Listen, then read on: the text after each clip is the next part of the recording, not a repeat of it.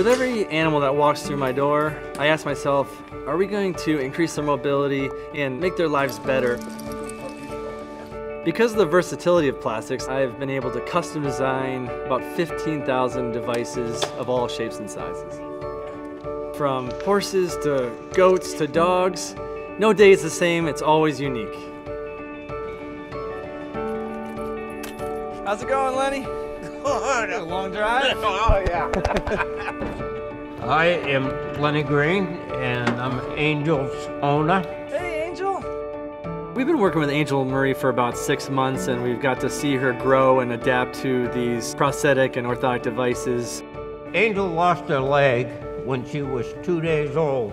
Her mother stepped on it and crushed it. It was an accident. The prosthetic leg actually has saved her life. So looking at the brace, I definitely see these straps have been chewed through. This is not really tightening down the way I like to. She's atrophied over the winter a Yeah. little bit, it looks like, Yeah. so there's some space in there. We have to adjust the brace and prosthesis to accommodate for her fluctuations in body mass.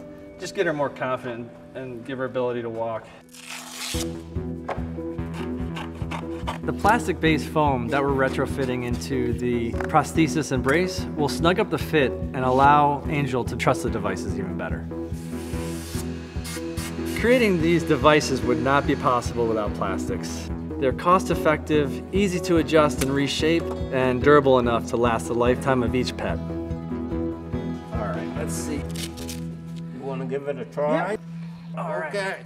Okay. We never know what is going to happen, uh, but we are always hoping for the best. There we go. There she goes. Come here, Angel. See, she's moving much better. Beautiful. That looks great.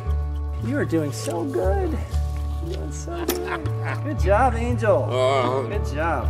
You can tell she's a happy girl right now. Today's appointment was a big success for us. Angel, I could tell, I could see it right in her, in her eyes. It was incredible to see Angel Marie hop up and walk on all fours today. Now she can graze around and do what she wants to do. Bye, Angel. I can't imagine doing anything else, just helping the lives of all these animals.